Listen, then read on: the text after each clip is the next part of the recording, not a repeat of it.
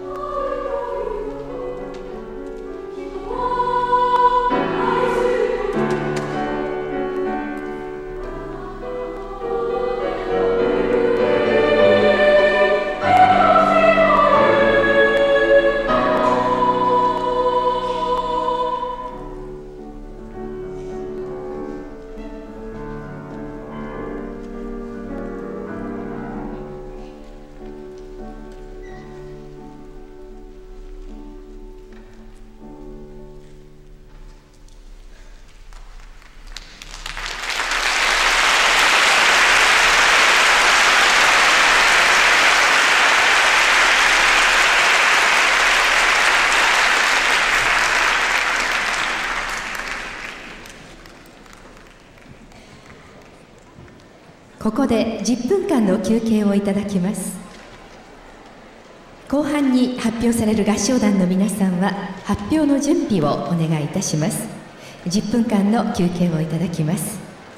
なお皆様に重ねてご案内でございます。2階のギャラリーにおきましてもてなし茶席を行っております。15時30分までの予定でございますがぜひもてなし茶席でほっこりと、えゆったりとした時間をお過ごしくださいませ。それでは10分間の休憩をいただきます。